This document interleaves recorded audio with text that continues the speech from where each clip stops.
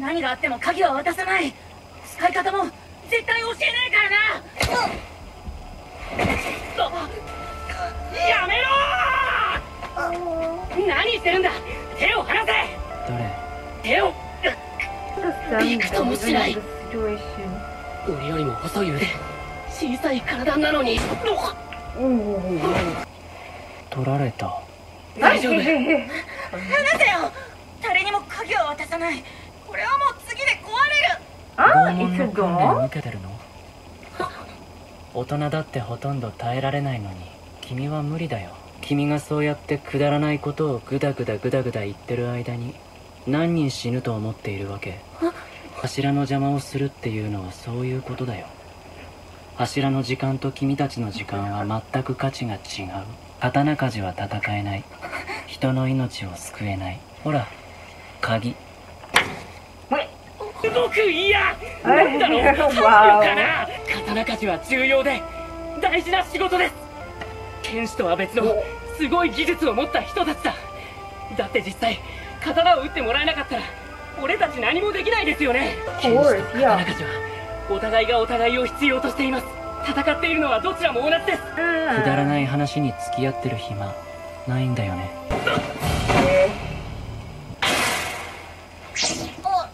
大丈夫ですか？Ah. 柱の人。Oh. 鍵を渡したので行ってしまいました。ここに立っていた人というか。あれはからくり人形です。鍵は。あの人形を動かすために必要だったんです。あのからくり人形は。人間を凌駕する力を持っていて108つの動きができます。戦闘訓練に利.用できるんです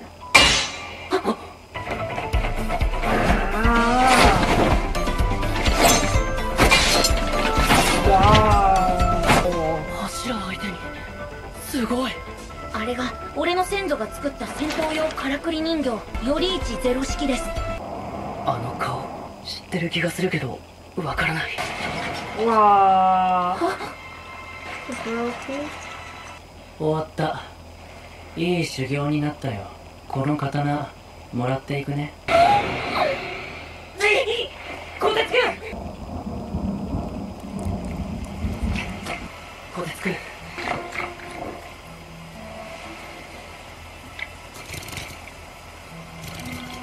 や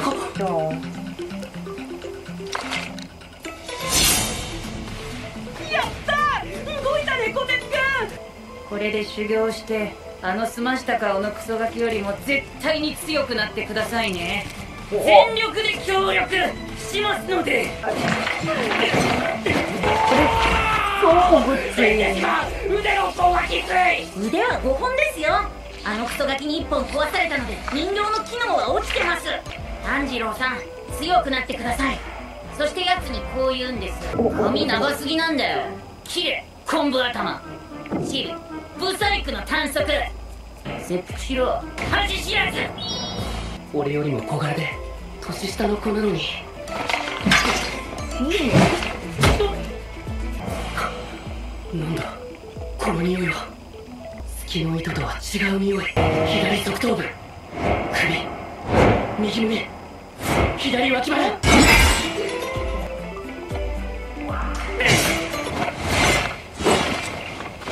Okay, now he's much stronger, much stronger. 動きが前よりもずっとよくわかる体力も戻ってついていけてるこの匂いは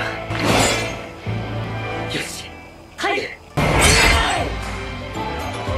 Oh my god. Oh my god.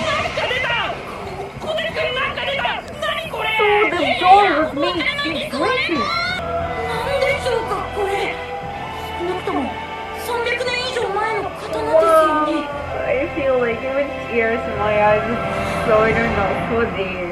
Wow, I feel this episode is really important for the story and especially the ending. In the ending, we saw a lot of references to the original story of some. For example, Kamurochi was shown in one of scenes. From what I saw, it can be assumed that she lived in a foster family as a child. Perhaps at some point she met her sister, but something happened and they could not stay together. But also something happened that took the smile off his face forever and now he is cold to everyone.